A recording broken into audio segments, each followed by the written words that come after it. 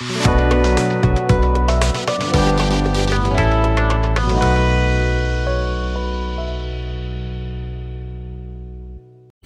हिंद साथियों, विद्यापीठ study point में आप सबों का स्वागत है। आइए हम इस एपिसोड में भारतीय संविधान एवं राज्य व्यवस्था के बारे में विशेष उपबंध जो दिया गया है, उसको देखेंगे।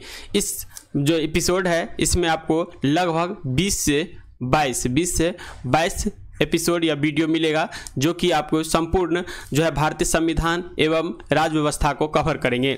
ये वीडियो आपको आगामी बीपीएससी का शिक्षक भर्ती एग्ज़ाम हो, या बीपीएससी का उनहत्तरवीं एग्ज़ाम हो, या किसी भी तरह का, जैसे कि बिहार दरोगा का एग्ज़ाम हो, सारे के सारे जो है एग्ज़ाम में आपका इसका, इस इस वीडियो से या इस एपिसोड से आपको दो से तीन क्वेश्चन देखने को मिलेगा। ये एपिसोड देखिएगा तो जो कि भारतीय संविधान इतिहास है, ये आपको इतिहास और पॉलिटी दोनों में कवर किया जाता है तो ये जो है काफ़ी इंपॉर्टेंट वीडियो होगा। यदि चैनल पर नए हैं तो प्लीज़ चैनल को सब्सक्राइब कर लीजिए, बगल में बेल आइकन होगा, उसको दबा दीजिए, ताकि कोई भी वीडियो हम अपलोड करें तो आपको नोटिफिकेशन मिल सके। चलिए हम आज की क्लास को शुरू करते हैं। देखिए, जिसमें पहला चैप्टर लिए कवर किए हैं, यह है भारतीय संवैधानिक इतिहास। कर है, इकतीस दिसंबर सोलह सौ ईस्वी को ब्रिटेन की महारानी एलिजाबेथ प्रथम के द्वारा ईस्ट इंडिया कंपनी की स्थापना किया गया था। तो ये याद रखिएगा, सोलह सौ ईस्वी में एलिजाबेथ प्रथम के द्वारा ईस्ट इंडिया कंपनी की स्थापना किया गया। इन्हें दक्षिण पूर्वी एशिया देशों के लिए व्यापार वाणिज्य करने के लिए पंद्रह वर्ष का अधिकार पत्र दिया गया था किसको? ईस्ट इंडिया कंपनी को। साथ ही कहा गया कि यदि व्यापार स्थिति मज़बूत होगी तो इस स्थिति में प्रत्येक 20 वर्ष के पश्चात इस व्यापारिक अधिकार पत्र को जो है नवीनीकरण या रिवेन्यू किया जाएगा। यानी व्यापार यदि अच्छा से चला तो हर एक बीस वर्ष के बाद जो है महारानी के द्वारा इसको नवीनीकरण या रेवेन्यू किया जाएगा।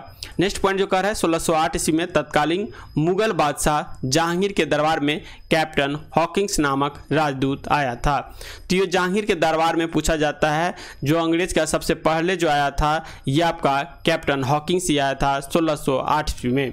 नेक्स्ट पॉइंट कह रहा है, यह राजदूत ब्रिटिश राजा जेम्स प्रथम का राजदूत था। टी हॉकिंस जो था, सो जेम्स प्रथम का राजदूत था, किंतु इन्हें किसी भी प्रकार के व्यापारिक अधिकार प्राप्त नहीं हुआ। किसके द्वारा? तो कैप्टन हॉकिंग्स को जहांगीर के द्वारा किसी भी तरह का व्यापारिक एकाधिकार जो है, इसे प्राप्त नहीं किया गया। पुनः जो है 1615 ईस्वी में देखिएगा तो जेम्स प्रथम का दूसरा राजदूत जो आता है, ये आता है टॉमस रो। जहांगीर के दरबार में आया और कुछ व्यापारिक अधिकार प्राप्त करने में सफलता हासिल किया। कौन? टॉमस रो के द्वारा। साथ ही कहा जाता है 1613 ईस्वी में सूरत में स्थापित ईस्ट इंडिया कंपनी के व्यापारी कोठी को मान्यता दे दिया गया। पुनः बंगाल के नवाब द्वारा बंगाल के क्षेत्र में ईस्ट इंडिया कंपनी को कुछ व्यापारिक अधिकार भी दे दिया गया। तो सबसे पहले मुगल के दरबार में, जहांगीर के दरबार में कैप्टन हॉकिंग्स आता है। इसको व्यापारिक का कोई अधिकार पत्र प्राप्त नहीं होता है। लेकिन एक चीज़ याद रखिएगा, जहांगीर के द्वारा इसको एक उपाधि दिया जाता है, जिसको इंग्लिश खां के नाम से जाना जाता है। नेक्स्ट क्वेश्चन या नेक्स्ट पॉइंट देखिएगा तो कह रहा है, तेईस जून सत्रह सौ सत्तावन को पलासी के युद्ध में बंगाल के नवाब सिराजुद्दौला का पराजय हो गया था। तो अंग्रेज़ और जो है आपको बंगाल के नवाब सिराजुद्दौला के बीच में एक युद्ध होता है पलासी में। ये कभी कभी पूछ लेता है, किस नदी के किनारे बसा हुआ है? तो ये पलासी शहर तो ये भागीरथी नदी, या कह सकते हैं तो हुगली नदी, जो कि बंगाल में है। में बसा हुआ है। ईस्ट इंडिया कंपनी ने बंगाल के नवाब के पद पर अपने पसंद व्यक्ति मीर जाफ़र को बैठाया था। ये भी कहा जाता है कि अंग्रेज़ के साथ मिलकर मीर जाफ़र ने जो है सिराजुद्दौला के साथ जो है आपका विश्वासघात किया था और इसमें सिराजुद्दौला युद्ध में पराजित हो जाते हैं। उसके बाद अंग्रेज़ के द्वारा ये विश्वघाती या कहा जाता है तो ये मीर जाफ़र को बंगाल का नवाब बना दिया जाता है। नेक्स्ट आता है सत्रह ईस्वी में बेदरा का युद्ध अंग्रेज़ और ईस्ट इंडिया कंपनी के बीच में होता है। सॉरी, अंग्रेज़, ईस्ट इंडिया कंपनी और डचों के बीच में होता है। तो इसमें क्या है? अंग्रेज़ जो है विजय होता है और डच हार जाता है। फिर देखिए 1760 में बांडीवास का युद्ध होता है, जिसमें फ्रांसीसी कंपनी को ईस्ट इंडिया कंपनी जो है पराजित कर दिया। तो सत्रह में बेदरा का, जिसमें डच और अंग्रेज़ के बीच में होता है, अंग्रेज़ विजय हो जाता है। 1760 में बांडीवास का युद्ध होता है, जिसमें फ्रांसीसी और अंग्रेज़ के बीच में होता है, जिसमें अंग्रेज़ क्या होता है, विजय हो जाता है। और इसी के साथ ही ईस्ट इंडिया कंपनी की मजबूती जो है और जो है एस्टेब्लिश हो जाता है। इस युद्ध के पश्चात भारत में स्थापित सभी विदेशी कंपनियों में सबसे मज़बूत कंपनी के रूप में ईस्ट इंडिया कंपनी जो है उभर कर सामने आती है। नेक्स्ट पॉइंट जो कर है, सत्रह सौ ईस्वी में बक्सर के युद्ध में हेक्टर मुनरो के नेतृत्व में ब्रिटिश सेना ने तत्कालीन मुगल बादशाह शाह आलम द्वितीय के नेतृत्व वाली त्रिगुट सेना को पराजित कर देता है। यानी बक्सर का युद्ध सत्रह में होता है, जिसमें अंग्रेज़ की तरफ़ से हेक्टर मुनरो और एक तरफ़ त्रिगुट सोना होती है, जिसका नेतृत्व जो है शाह आलम द्वितीय मुगल सेना था, ये करते हैं। इस त्रिगुट सेना में शाह आलम द्वितीय के अतिरिक्त बंगाल का अपदस्थ नवाब मीर कासिम एवं अवध का नवाब सुजादुद्दौला था। नेक्स्ट हम देखिए, कह रहा है, जो 12 अगस्त सत्रह सौ पैंसठ ईस्वी में ये है लॉर्ड कलाइव होना चाहिए। यहाँ गलत हो गया। लॉर्ड कलाइव याद रखिएगा। लॉर्ड कलाइव कलाइव ठीक है? लॉर्ड कलैब, ठीक है? लॉर्ड कलैब एवं मुगल बादशाह शाह आलम द्वितीय के बीच इलाहाबाद की संधि हुई, जिसके द्वारा ईस्ट इंडिया कंपनी को बंगाल, बिहार, उड़ीसा के राजस्व वसूलने का अधिकार मिल गया। तो 12 अगस्त सत्रह सौ पैंसठ को इलाहाबाद में संधि होता है शाह आलम द्वितीय और लॉर्ड कलैब के बीच में। और इसके बाद देखिएगा तो बंगाल, बिहार, उड़ीसा को राजस्व वसूलने का अधिकार जो है किसको मिल जाता है? ईस्ट इंडिया कंपनी को मिल जाता है। ईस्ट इंडिया कंपनी के पहले गवर्नर के रूप में लॉर्ड क्लैब की नियुक्ति किया गया था। सत्रह सौ बहत्तर ईस्वी में ईस्ट इंडिया कंपनी का गवर्नर, जिसे जो है बंगाल का गवर्नर भी कहा गया है, के रूप में वारेन हेस्टिंग को नियुक्त किया जाता है।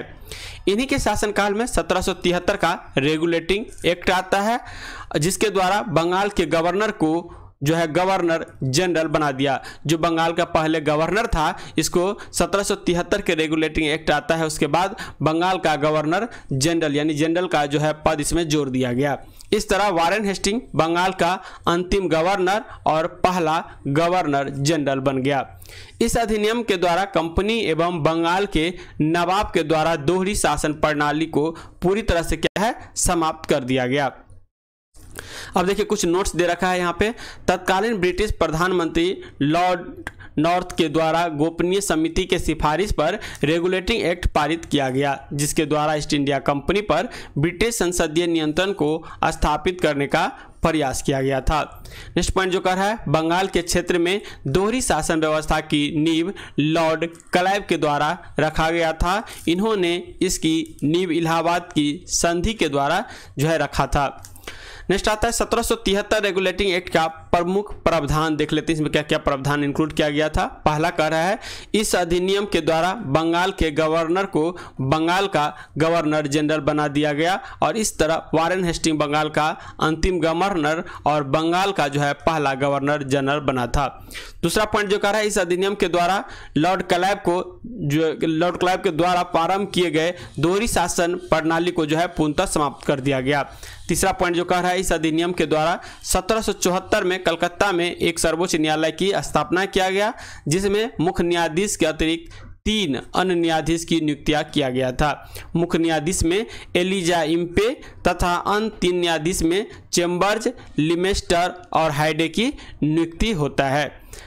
ये सारा सत्रह सौ तिहत्तर के रेगुलेटिंग एक्ट के तहत ही होता है। चौथा देखिए, कह रहा है, इस अधिनियम के द्वारा गवर्नर जनरल एवं उसके चार सदस्य मंत्री परिषद को बंगाल का शासन चलाने के लिए अनुमति दे दिया और गवर्नर जनरल परिषद के चार सदस्य में जो है निम्नलिखित देखिएगा तो पहला जो था, फिलिप फ्रांसीसी, कलवेरिंग, मानसन और जो है बारवाल। क्या है? बारवाल। ये चार सदस्य जो है परिषद में थे। साथ ही इस अधिनियम के द्वारा जो है एक 24 सदस्यीय निदेशक मंडल, बोर्ड ऑफ़ डायरेक्टर का गठन किया गया, जिसमें एक सदस्य का कार्यकाल जो है, चार वर्ष का निर्धारण किया गया था। फिर नोट्स देखिए कंपनी का शासन जो है, सत्रह सौ तिहत्तर से अठारह सौ सत्तावन तक चलता है। इस अधिनियम के द्वारा ईस्ट इंडिया कंपनी के कर्मचारी को निजी व्यापार करने एवं भार लेने पर जो है, प्रतिबंध लगा दिया जाता है। किसके? सत्रह सौ तिहत्तर के रेगुलेटिंग एक्ट के तहत में।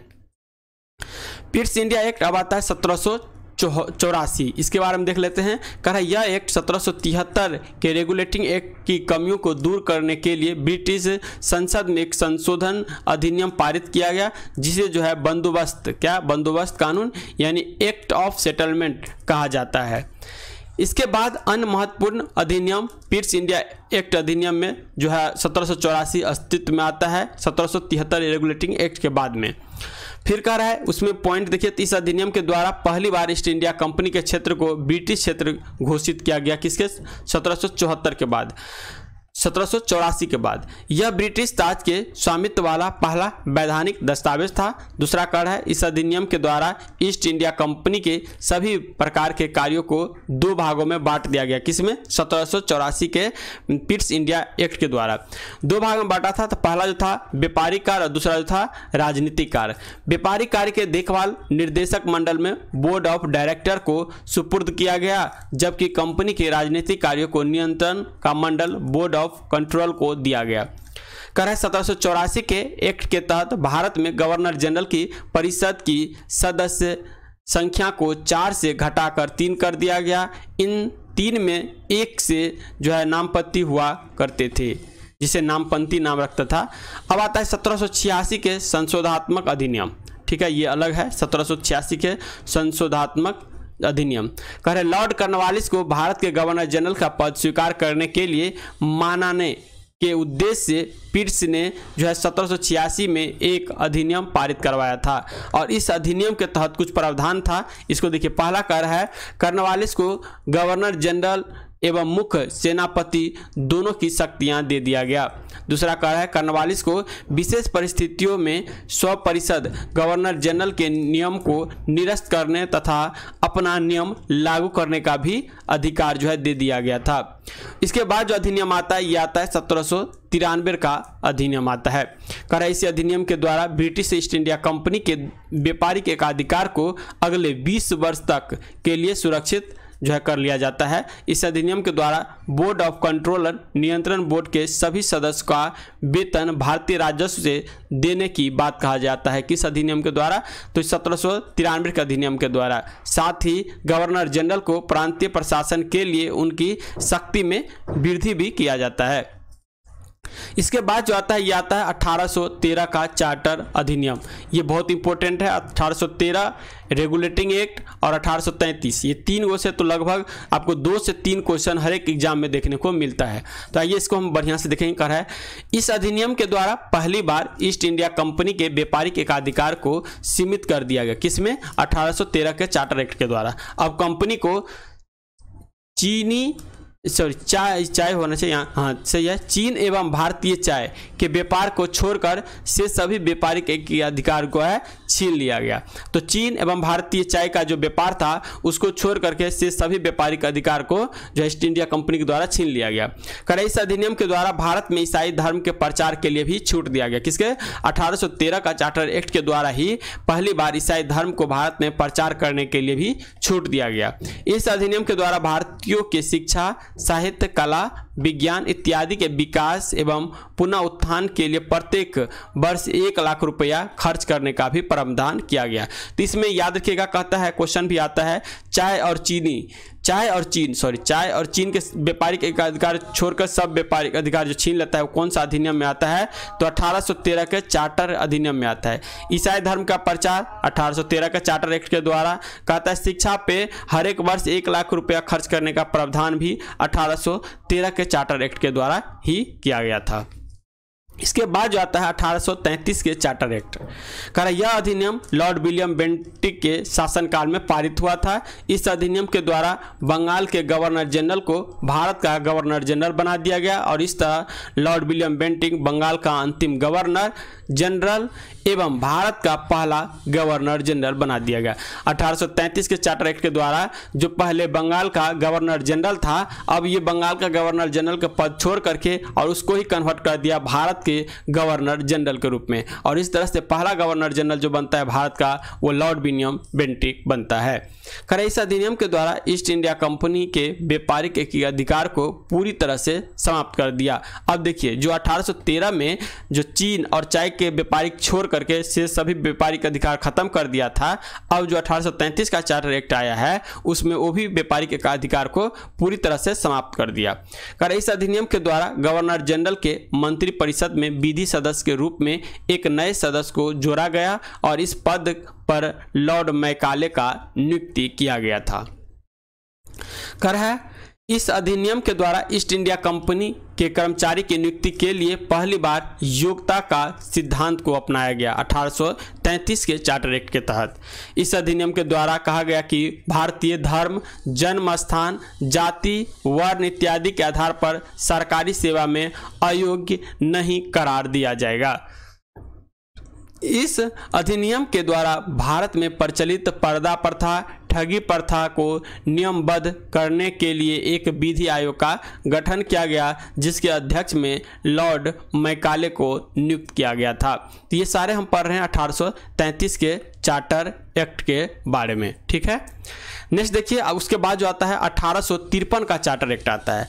कह रहा है, इस अधिनियम के द्वारा पहली बार ईस्ट इंडिया कंपनी के कर्मचारी के लिए खुली प्रतियोगिता परीक्षा का आधार बनाकर नियुक्ति की बात किया गया था 1833 के सॉरी अठारह तिरपन के चार्टर एक्ट के तहत। इस अधिनियम के द्वारा पहली बार भारत के लिए एक, जो अलग से एक बारह सदस्यीय विधान परिषद का व्यवस्था किया गया, साथ ही केंद्रीय विधान परिषद में भारतीय सदस्य की नियुक्ति की भी बात किया गया। तो पहली बार अठारह अठारह के चार्टर एक्ट में 12 सदस्यीय के विधान परिषद जो, उसका व्यवस्था किया गया और केंद्र विधान परिषद में भारतीय सदस्य की नियुक्ति की भी बात कही गई थी। अठारह सौ चौवन ईस्वी में सिविल सेवा की भर्ती के लिए लॉर्ड मैकाले ने अपनी सिफारिश दिया था। तो ये क्वेश्चन आता है, सिविल सेवा में भर्ती के लिए सबसे पहले अपनी सिफारिश कौन दिया था? तो लॉर्ड मैकाले के द्वारा अठारह सौ चौवन में दिया गया था। इसके बाद जो आता है, अठारह का भारत शासन अधिनियम। इससे पहले अठारह का विद्रोह होता है और इसके बाद जस्ट आता है अठारह के भारत शासन अधिनियम। इसके बाद जो है ताज का शासन स्टार्ट हो जाता है और ताज का शासन अठारह से लेकर उन्नीस सौ सैंतालीस जब तक भारत आज़ाद होता है, तब तक ताज का शासन रहता है। अब देखिए अठारह के भारत शासन अधिनियम के बारे में क्या क्या मुख्य बिंदु दिए गए हैं। पहला कह रहा है, इस अधिनियम के द्वारा ईस्ट इंडिया कंपनी के शासन पूरी तरह से समाप्त कर दिया गया और भारत में पूर्णतः उत्तरदायी शासन के लिए ब्रिटिश महारानी को जिम्मेवार बना दिया गया। अर्थात भारत में शासन के लिए ब्रिटिश के निम्न सदन हाउस ऑफ़ कॉमन को जिम्मेवार जो है, ये बना दिया गया। दूसरा पॉइंट जो कह रहा है, इस अधिनियम के द्वारा भारत के गवर्नर जनरल को भारत का वायसराय बना दिया गया और इस तरह लॉर्ड कैनिन भारत का अंतिम गवर्नर जनरल और भारत का पहला वायसराय भी बन गया। नेक्स्ट तीसरा पॉइंट कर है, इस अधिनियम के द्वारा बोर्ड ऑफ़ डायरेक्टर एवं बोर्ड ऑफ़ कंट्रोल की दोहरी शासन प्रणाली को पूरी तरह से समाप्त कर दिया गया। साथ ही इस अधिनियम के द्वारा भारत में एक नया पद राज्य सचिव को बनाया गया, जिसकी नियुक्ति ब्रिटेन के निम्न सदन के कैबिनेट मंत्री के किसी सदस्य को किया जाता था, जो ब्रिटिश संसद के प्रति जिम्मेवार होते थे और इस राज्य सचिव के सहायता के लिए एक पंद्रह सदस्यीय सलाहकारी परिषद का भी गठन किया गया था। नेक्स्ट पॉइंट जो कर रहा है इसमें, भारत के प्रथम राज सचिव के पद पर लॉर्ड स्टालिन लॉर्ड स्टेलिन का नियुक्ति किया गया था। अठारह के क्रांति के पश्चात ब्रिटेन की महारानी विक्टोरिया ने लॉर्ड कैनिन के नाम का एक घोषणा पत्र भेजा, जिसे लॉर्ड कैनिन ने इलाहाबाद में एक नवंबर अठारह को पढ़ा, जिसमें कहा गया था कि अब ईस्ट इंडिया कंपनी के शासन पूरी तरह से समाप्त कर दिया गया और यह कंपनी किसी भी नए क्षेत्र को विजय नहीं करेगा। महारानी की उद्घोषणा को भारतीय जनता का अधिकार पत्र का Magna Carta of Indian liberty कहा गया। ठीक है? तो ये याद रखिएगा, Magna Carta of Indian liberty किसे कहा गया? तो महारानी का जो घोषणा पत्र आता है, जिसको लॉर्ड केनिन के द्वारा एक नवंबर अठारह में इलाहाबाद में पढ़ा जाता है, इसको ही Magna Carta of Indian liberty कहा गया है। अब देखिए, अठारह सौ अट्ठावन के समय, अठारह ले लीजिए, अठारह के समय ब्रिटिश के प्रधानमंत्री जो था, ये पाम अष्टम ब्रिटिश के पीएम था। इसके बाद आता है भारत परिषद अधिनियम। अब जो है भारत परिषद अधिनियम स्टार्ट हो जाएगा, जो कि अठारह सौ इकसठ में आता है। इस अधिनियम के द्वारा भारत में विभागीय प्रणाली, मंत्रिमंडल प्रणाली या पोर्टफोलियो प्रणाली को वैधानिक दर्जा दिया गया था। शुरुआत अठारह सौ उनसठ ईस्वी में लॉर्ड कैनिन के द्वारा इसे किया जाता है। इसी अधिनियम के द्वारा वायसराय को अध्यादेश जारी करने की शक्ति दे दिया गया। याद रखिएगा, अठारह सौ इकसठ के अधि, भारतीय परिषद अधिनियम के द्वारा अध्यादेश जारी करने का शक्ति वायसराय को दे दिया गया। इस अधिनियम के द्वारा मुंबई तथा मद्रास प्रेसिडेंसी को विधायी शक्ति, कानून शक्ति, कानून बनाने की शक्ति देकर विकेंद्रीकरण का शुरुआत किया गया। इसी अधिनियम के द्वारा अठारह सौ बासठ ईस्वी में तीन भारतीय जो है, बनारस का राजा, पटियाला का महाराज एवं सर दिनकर राव को विधान परिषद में मनोनीत किया गया। इसी अधिनियम के द्वारा अठारह सौ बासठ ईस्वी में बंगाल में, अठारह सौ छियासठ ईस्वी में उत्तर पश्चिम सीमा प्रांत में तथा अठारह सौ सड़सठ में पंजाब में विधान परिषद का भी गठन किया गया था। इसी अधिनियम के द्वारा अठारह सौ बासठ ईस्वी में कलकत्ता बम्बई मद्रास में हाईकोर्ट की भी स्थापना किया गया। किसके? अठारह सौ इकसठ के भारत परिषद अधिनियम के द्वारा। इसके बाद जो आता है अठारह का भारत परिषद अधिनियम, कर इस अधिनियम के द्वारा विधान परिषद के कार्यों में वृद्धि किया गया और उसे बजट पर बहस करने तथा सार्वजनिक मुद्दों के विषय पर प्रश्न पूछने का अधिकार दिया गया। किंतु अभी भी विधान परिषद को बजट पर मतदान करने का अधिकार जो है नहीं दिया गया था। इसी अधिनियम के द्वारा अप्रत्यक्ष निर्वाचन प्रणाली को मान्यता दिया गया था। इस अधिनियम की एक प्रमुख विशेषता निर्वाचन पद्धति का आरंभ किया जाना था, जो अप्रत्यक्ष रूप से गैर सरकारी सदस्य नगर जिला बोर्ड इत्यादि के द्वारा किए जाने की बात कहा गया था। नेक्स्ट जो आता है, उसके बाद जाता है डायरेक्ट 1909 के भारत परिषद अधिनियम। इस अधिनियम के पारित होने के समय भारत का वाइस राय लॉर्ड मिंटो थे तथा भारत का राज्य सचिव लॉर्ड मार्ले थे। अतः इस अधिनियम को मार्ले मिंटो सुधार के नाम से भी जाना जाता है। 1909 के भारत परिषद अधिनियम के द्वारा भारत में पहली बार मुसलमानों के लिए पृथक निर्वाचन क्षेत्र व्यवस्था किया गया था और इस तरह भारत में पहली बार सांप्रदायिकता की बीज पर मोहर इसी अधिनियम में लगा गया था। यानी सांप्रदायिकता चुनाव के लिए जो 1909 का अधिनियम आया था, इसमें इसको पारित कर दिया गया और मुसलमान के लिए अलग से निर्वाचित क्षेत्र का भी व्यवस्था किया गया था। भारत परिषद अधिनियम 1909 के द्वारा, जिसका नाम क्या है? मार्ले मिंटो सुधार है। इसी अधिनियम के द्वारा पहली बार जो है किसी भारतीय को वायसराय की कार्य परिषद में सदस्य के रूप में शामिल किया गया और इस पद पर नियुक्ति पहले भारतीय सत्येंद्र प्रसाद सिन्हा थे। अब देखिए, इसके बाद जो आता है उन्नीस सौ उन्नीस का भारत परिषद अधिनियम। इस अधिनियम के पारित होने के समय भारत का गवर्नर या वायसराय लॉर्ड चेम्सफोर्ड थे, जबकि भारत का सचिव मॉन्टेग्यू थे। अतः इस अधिनियम को मॉन्टेग्यू चेम्सफोर्ड सुधार के नाम से भी जाना जाता है। इस अधिनियम को 1921 में जो है लागू किया गया था।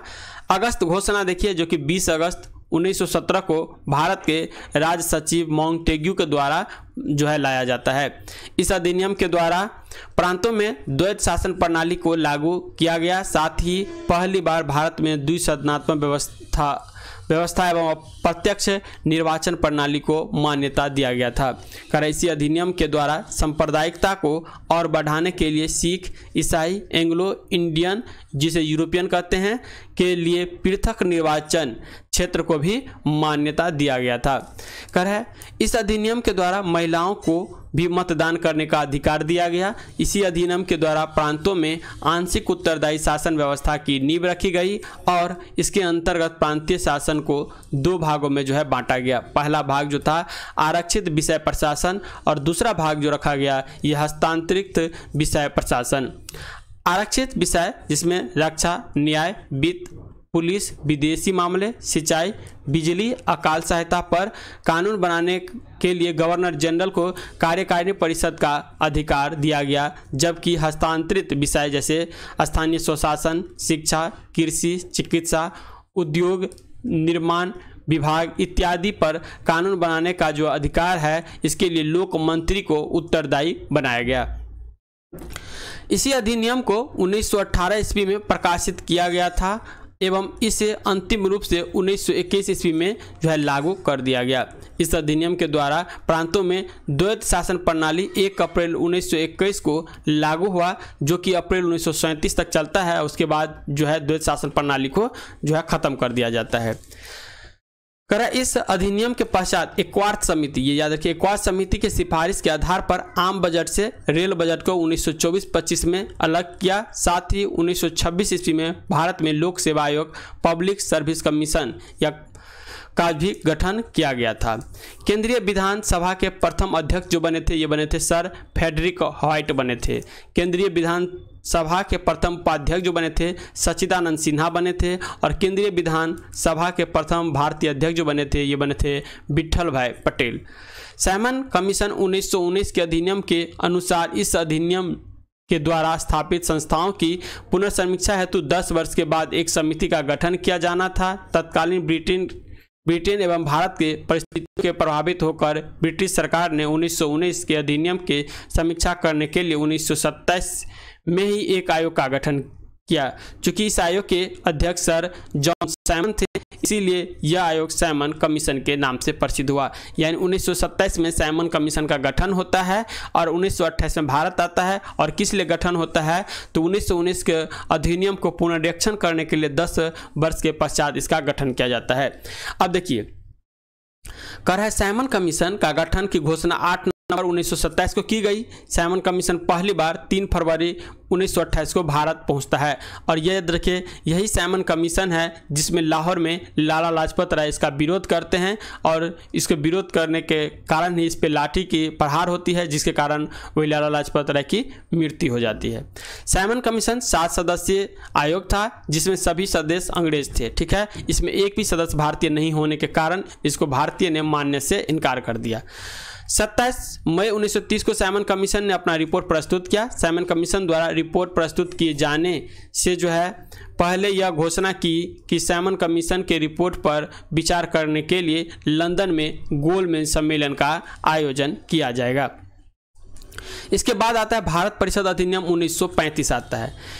भारत के वायसराय लॉर्ड विलिंगटन थे तथा ब्रिटिश प्रधानमंत्री रैमजे मैकडोनल्ड थे। इस अधिनियम को 3 जुलाई 1936 को आंशिक रूप से लागू किया गया, किंतु अप्रैल उन्नीस सौ सैंतीस में पूरी तरह से इसे लागू कर दिया गया। इस अधिनियम के द्वारा प्रांतों को स्वायत्ता दे दिया गया तथा केंद्र में द्वैत शासन प्रणाली को लागू किया गया। नेक्स्ट कर है, इस अधिनियम के द्वारा जो है, प्रांतों को पूर्णतः उत्तरदायी शासन व्यवस्था चलाने की अनुमति दे दिया गया, जिसके तहत उन्नीस सौ सैंतीस ईस्वी में निर्वाचन निर्वाचन किया गया, जिसमें भारतीय राष्ट्रीय कांग्रेस को बहुमत मिला, किंतु उन्नीस में पुनः सरकार गिर जाती है और इसी के उपलक्ष्य में यादेगा जो मुस्लिम लीग के द्वारा था, सो मुक्ति दिवस मनाया जाता है, जब कांग्रेस की सरकार उन्नीस में गिर जाता है।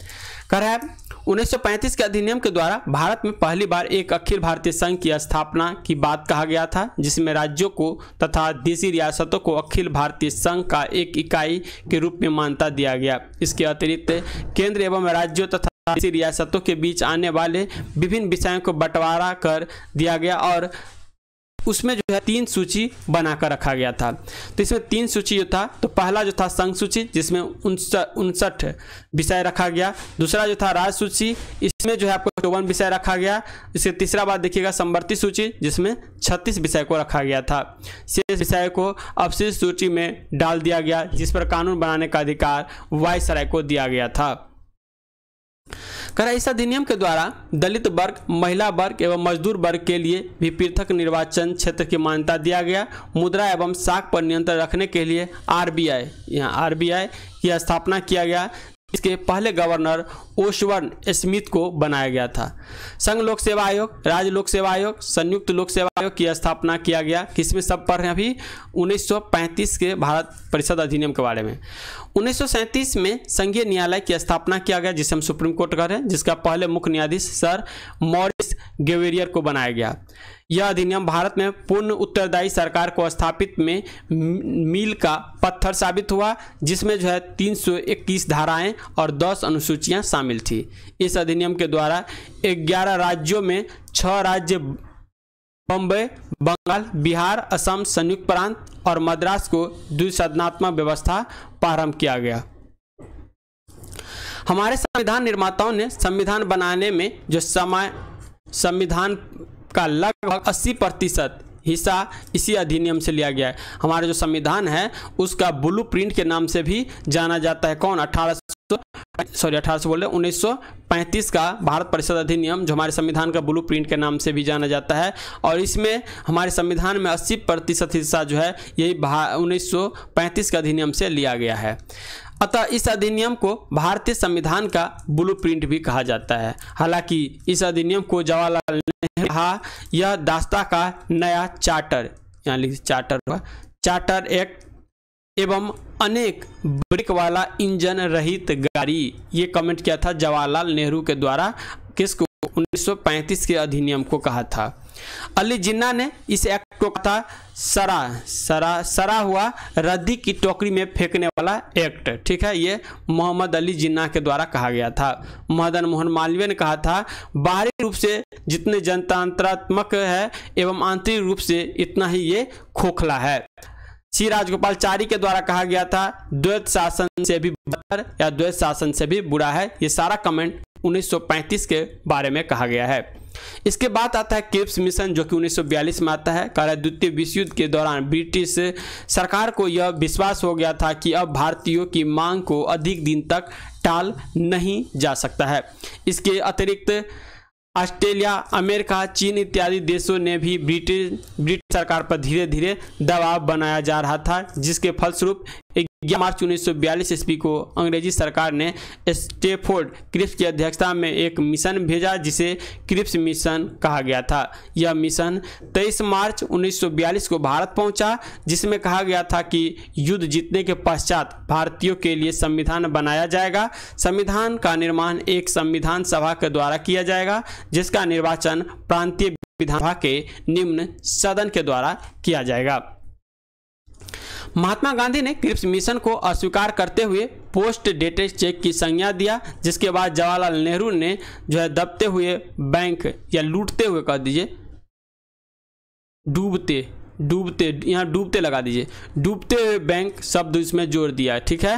क्रिप्स मिशन का सफलता का सबसे बड़ा कारण त्यागने या ग्रहण करने की नीति थी।